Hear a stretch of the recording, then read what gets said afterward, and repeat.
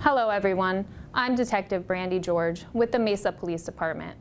This critical incident community briefing will provide you with information about an officer-involved shooting that occurred here in Mesa. You are about to see relevant video footage and learn about evidence and police procedures related to this case so you can better understand what happened based on what we know right now. Mesa Police Department conducts thorough use of force investigations.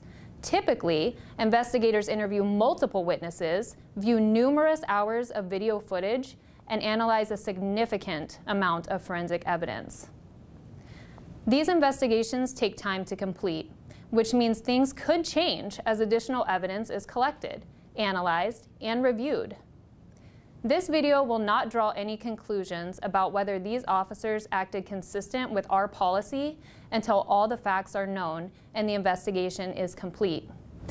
In this video, we will be sharing our officers' body-worn camera videos, as well as 911 calls and any other surveillance video obtained as part of this investigation.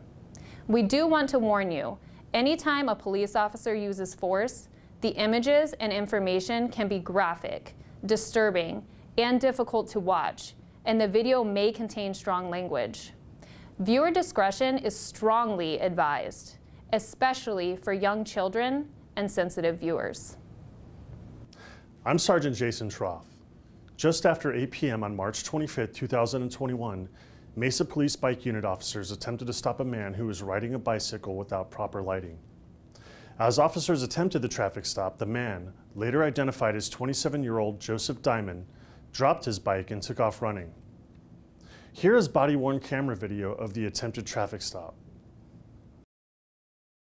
A foot pursuit ensued, and while running, Joseph Diamond pointed what looked to be a silver revolver at the officers. That's when one officer fired his duty weapon.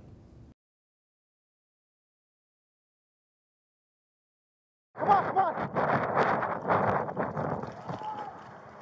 Stop! That's the police!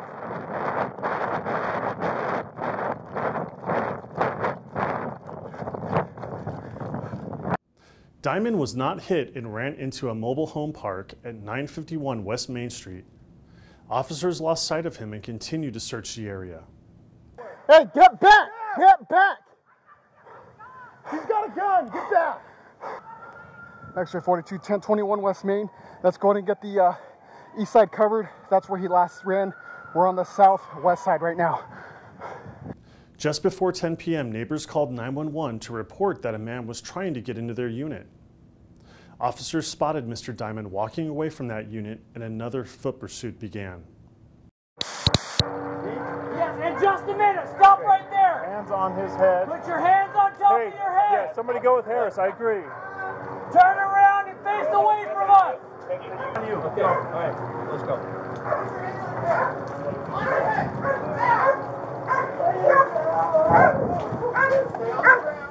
Officers fired a less lethal beanbag round which struck Mr. Diamond, and they were able to take him into custody. During the investigation, it was discovered that the weapon Mr. Diamond pointed was a flare gun wrapped in silver duct tape.